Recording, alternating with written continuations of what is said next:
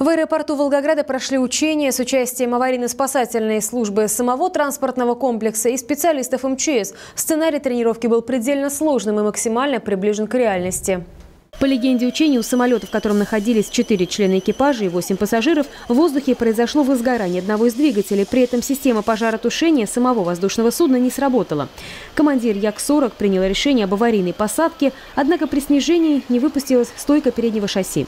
В это время на земле после получения сигнала о ЧП уже развернут оперативный штаб. На место происшествия прибыли пожарные спасатели. Задействована служба жизнеобеспечения самого аэропорта. Специалисты МЧС перед посадкой самолета покрыли взлетную полосу воздушно-механической пеной.